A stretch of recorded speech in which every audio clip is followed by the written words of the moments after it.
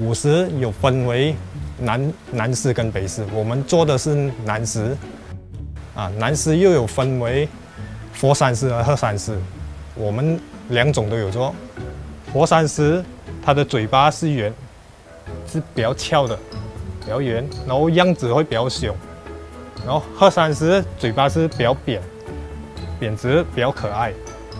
脚方面，这个是圆角，然后佛山狮是尖角。就有不一样的设计，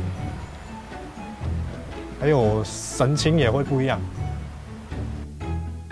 我在这一行做了十年，因为我做到有兴趣。